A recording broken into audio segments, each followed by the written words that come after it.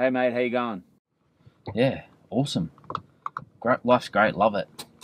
Yeah, cracker of a day. Could be worse. Dude, do you enjoy Uber driving? Oh, to be honest, mate, I'm sort of done with it. A bit over it, to be honest. So, what what would you do instead? Well, I got a background in sales. Really?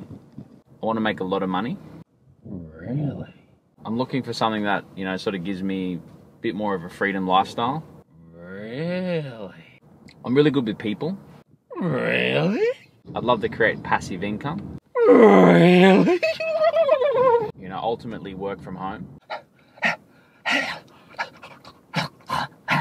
Ultimately, I just want to spend more time with, you know, friends and family. I'm Greek, so I've got a huge, huge, huge network of um, friends and family. So, what about you? What do you do?